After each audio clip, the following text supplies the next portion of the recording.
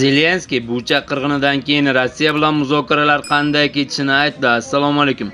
Bucha fojiasidan keyin rossiya bilan muzokaralar o'tkazish juda qiyin bo'ladi. Bu haqda ukraina prezidenti vladimir zelenskiy aytib o'tdi. Hammamiz shu jumladan men ham muzokaralar o'tkazish imkoniyatini qiyinchilik sifatida qabul qilamiz.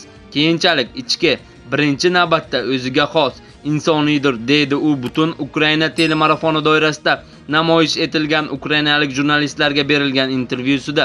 Prezidentning so'zlariga ko'ra davlat ichida yana bir qiyinchilik bo'ladi chunki hamma rossiya harbiylari qilgan ishni kechirib bo'lmasligini tushunadi. Har bir bunday fojia har bir bunday bucha muayyan muzokaralardan qo'lingizni uradi.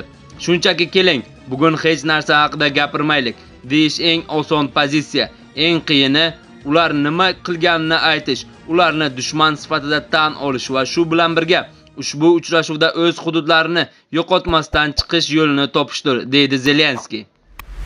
Bucha va boshqa davlatlardagi jinoyatlarni tergov qilish tezlashtirish tarafdori edi.